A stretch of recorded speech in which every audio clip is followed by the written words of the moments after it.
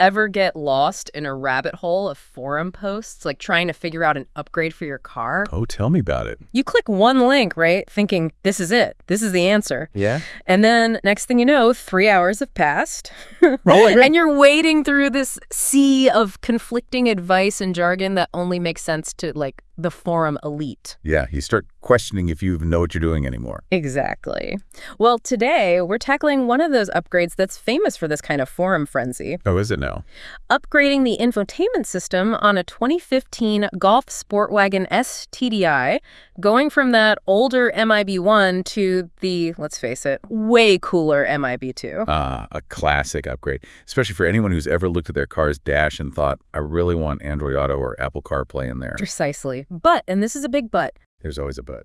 Right? it can come with a pretty hefty price tag, especially if you're relying on dealerships or those fancy professional installations. Yeah, those bills can add up quickly. But what if I told you there's a method out there, all documented in a single forum post, that promises a much simpler and get this way cheaper way to do it yourself? Okay, now you've got my attention. Mhm. Simpler and cheaper. That's a pretty enticing combination. Right. And what's really cool about this method is that it completely bypasses the need for those expensive coding tools and software that usually go hand in hand with these kinds of upgrades. So we're talking real DIY ingenuity here.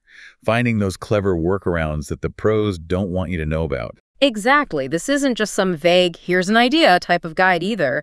It's laser focused on the 2015 Golf Sportwagen STDI, lays out everything you need, and I'm talking impressive detail here. Specific parts lists, I'm guessing. Oh, you know it. And the best part is that most of what you need you can snag for under a $100. Music to my ears. So you'll need a 6.5 inch screen, a Delphi head unit, ideally from a 2017 S model Golf, to keep things simple, a compatible USB port, and believe it or not, a 4GB SD card. A 4GB SD card. Hmm. Proof that sometimes the solutions to our high-tech problems are hidden in that drawer full of old electronics. Isn't that the truth? I actually found one in mine while I was prepping for this. I knew it, you and me both. But what really threw me was that this method doesn't even need a new wiring harness. Instead of shelling out even more cash, this forum post walks you through this super clever pin swapping technique, all with your existing harness. Now, that's what I call resourceful.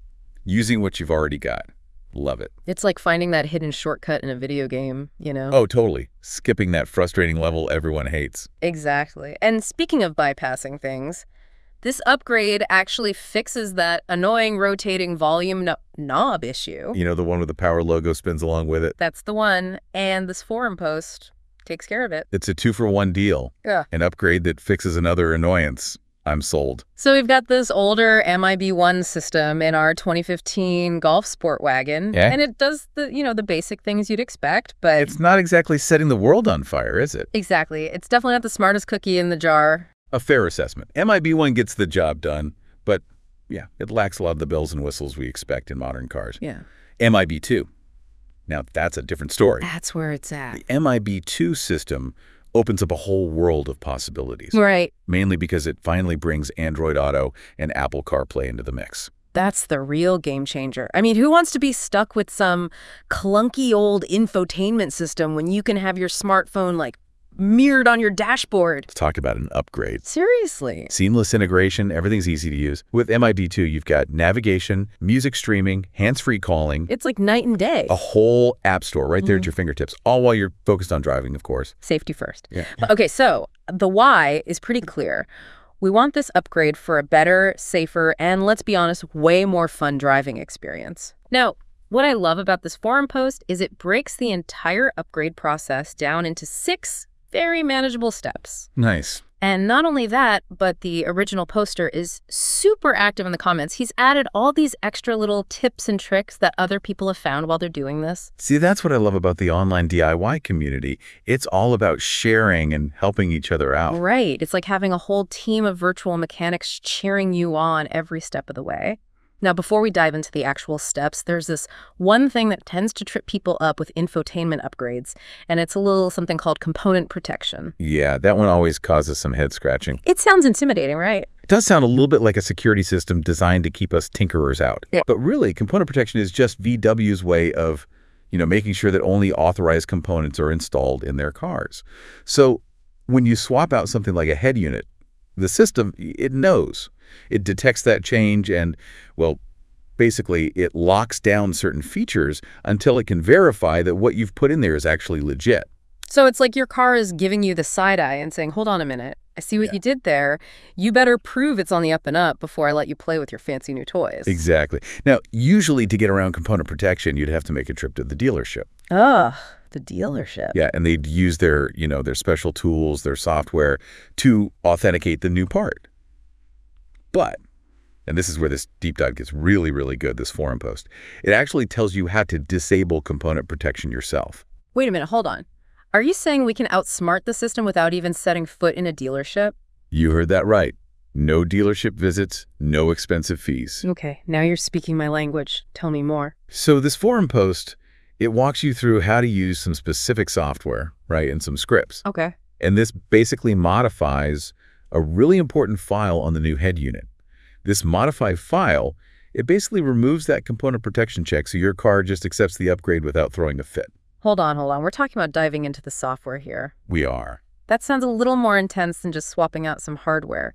How comfortable does someone need to be with this sort of thing before they even think about attempting this method? That's a really good point. Yeah. And you're right, the forum post lays everything out clearly. But it is a point where having even just a basic understanding of software versions, how to handle files, Eh, it definitely helps. okay. The real key here is making sure you download the correct delphibin.ifs file. That's the file we're going to modify. And to do that, you need to know your specific software version. Got it. So no downloading random files from shady corners of the internet. Got to be careful about that kind of thing. Exactly. This isn't the time to throw caution to the wind. But what exactly is this delphibin.ifs file? So think of the delphibin.ifs file as like the brain of your infotainment system. Okay. It has all the instructions, all the configurations that tell the system how to behave, how to do its thing. Right. And when we replace it with that modified version, we're essentially rewriting a small part of those instructions. Just that little bit that triggers the component protection. It's like finding that one line of code in a video game that controls invincibility. You tweak it and boom, you're unstoppable. I love that analogy. And it's true, right? yeah. Just like in a game, using the wrong file or messing up the modification, yeah, that can have some seriously unintended consequences. yeah, no pressure. Right. Exactly. That's why this forum post really stresses the importance of downloading the right delphibin.ifs for your software version. And it gives you links to some really reputable sources where you can find them. And it really is like we're doing brain surgery, but instead of a scalpel, we're using lines of code. In a way, yeah. It's amazing what you can do with a little bit of know-how these days. It's empowering, right, to know that you can unlock these advanced features without having to hand over your car to the dealership. It's all thanks to these incredible online communities, sharing knowledge, making this stuff accessible. Exactly. But you're right, it does require some attention to detail, to say the least. Yeah, definitely. This isn't something you want to rush into blindly. Which is where those reliable sources you mentioned come in. Exactly. The forum post, it specifically points to sites like mibsolution.one. Have you ever used that one? Oh, yeah. MIBSolution.one is a gold mine of information if you're even remotely interested in VW infotainment systems. It seems like it. I mean, they have everything. Oh, wow. You can find the correct delphibin.ifs files there. There are forums, tutorials. They even have a Telegram group for real-time help. So if you get stuck, you're not alone. That's so key, having that lifeline, especially for a newbie. Because let's be honest, I would totally panic if I saw a cryptic error message. Oh, absolutely. We've all been there. Speaking of newbies, this forum post, it's gotten some awesome feedback from people who've used this method. And that's what makes this deep dive so cool. We're Wow. not just theorizing. Yeah. This stuff works. Right. Real people, real results. Exactly. There's one comment that stood out to me. This guy, he said this forum post saved him hundreds of dollars Okay. and a trip to the dealership, Yeah. which, I mean, come on, that's a win in itself. Huge win. And then he goes on to say, and I quote, it works like a charm. I now have wireless CarPlay in my 2015 Golf, and it feels like a brand new car. Music to my ears. That's exactly what we like to hear. That feeling of, I did it myself and it actually worked. It really is like breathing new life into your car, you know, giving it that technological glow up. It's so satisfying, right? That sense of accomplishment when you do something yourself. Totally.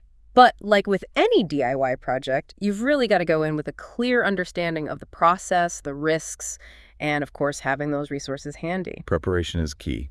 So, for our listeners who've been with us this whole way, What would you say is the most important takeaway from this whole deep dive? I think what we've really seen here is just how accessible these more advanced car upgrades have become.